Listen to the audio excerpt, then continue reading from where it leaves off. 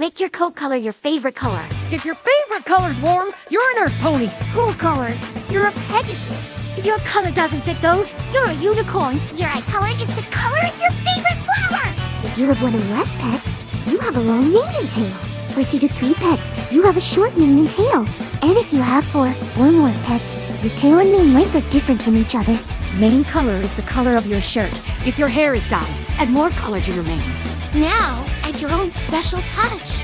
And if you're an artist, draw your pony